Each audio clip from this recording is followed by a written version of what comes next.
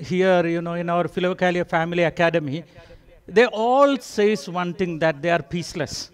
Many times they say, Brother Mario, uh, I have a very good husband and I have very good children.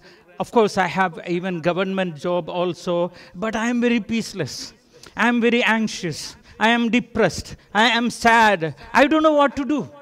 This is, this is very common things what we hear in, in our Philokalia Family Academy. But wh- what I want to say, my brothers and sisters, this happiness is not uh, the by chance. That should be your choice.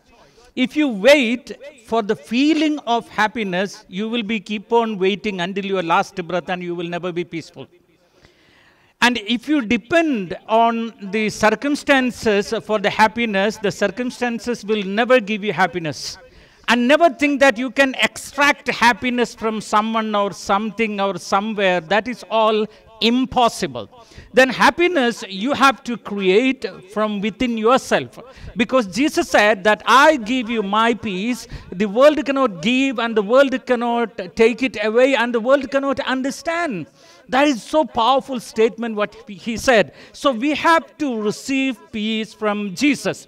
And how to receive that? Very simple method I will tell you. You know what? Uh, David, early morning, when he woke up, there was many reason for him to be sad because there are many enemies for him.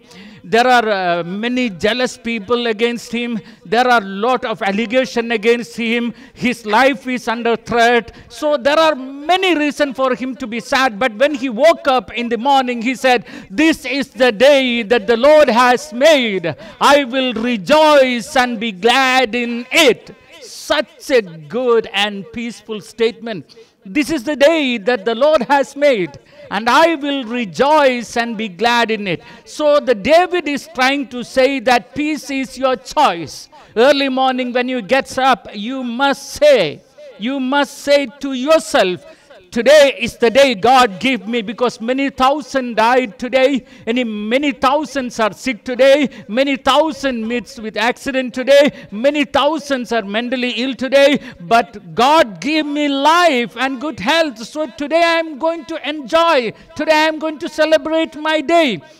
Let my circumstances be anything. Maybe I also may get sickness tomorrow. Maybe I also will have some trouble in my family. Maybe I also will have financial crisis. But even then, in the midst of all my crisis, I will say with uh, David, with the psalmist, this is the day that the Lord has made. I will rejoice and be glad in it.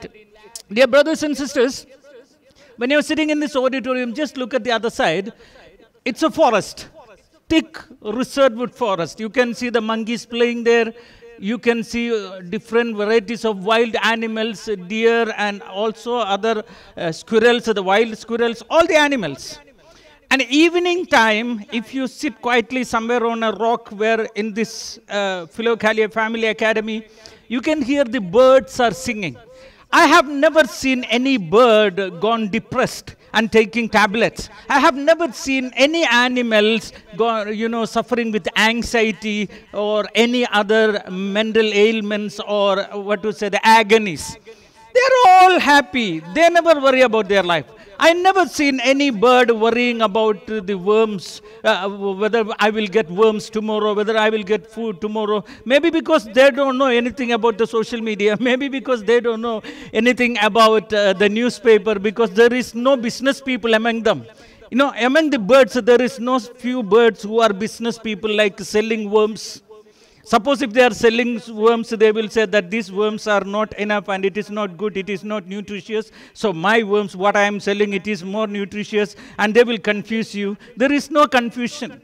Because they knows that the Heavenly Father led them so far and tomorrow also the Heavenly Father will lead them. So they are happily living. I think we also must trust in the Lord with all our heart. That's what Jesus said look at the birds of the sky and look at the lilies of the earth, how the Heavenly Father protects everything the same way He will protect you also.